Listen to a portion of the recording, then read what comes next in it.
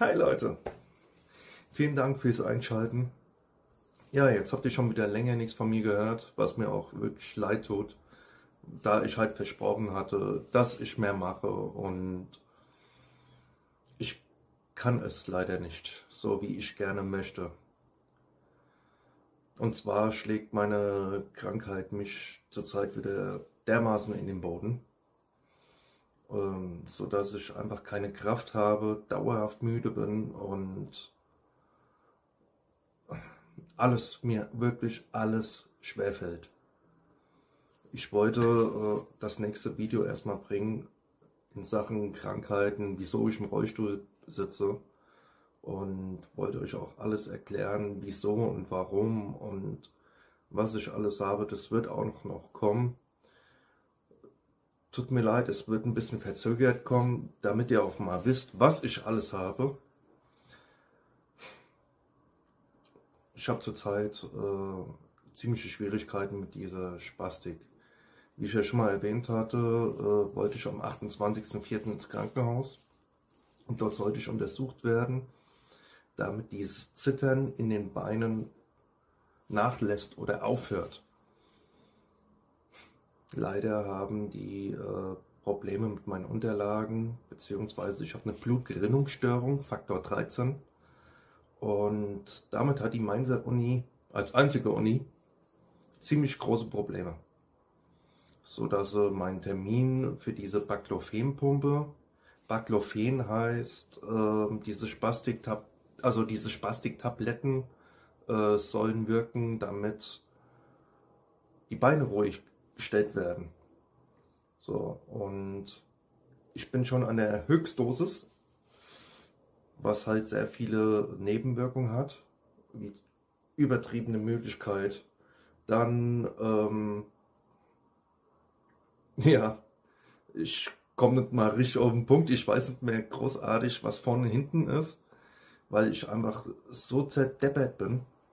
Und drittens, äh, eigentlich auch tierische Depression oder was noch dazu kommt, ähm, dass du irgendwann ja Sachen siehst, die da gang sind. Also das ist zum Glück nicht der Fall, aber dafür die anderen Sachen.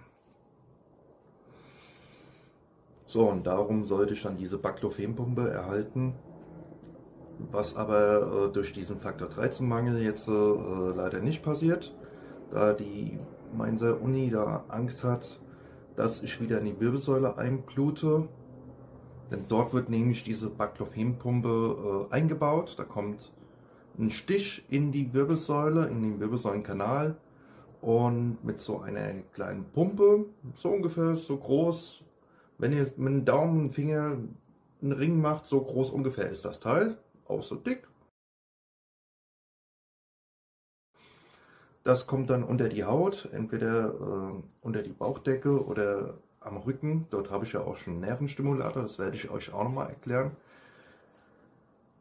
Ja, auf jeden Fall haben sie da Angst und machen dann Riesenterz. Erst hieß es 28.04., dann 9.05. und jetzt 14.06. Leute, ich kann nicht mehr. Also ich kann nicht nur lächeln und machen und tun, hüpfen wie ein Känguru. Ich kann auch ein bisschen am Boden zerschlagen sein, so wie jetzt. Deswegen kommt halt, äh, tut mir auch leid, wirklich etwas weniger. Aber ich habe mir sogar überlegt, nicht so lange Videos zu machen, sondern halt solche Kurzvideos, so keine fünf Minuten. Da gibt es auch welche.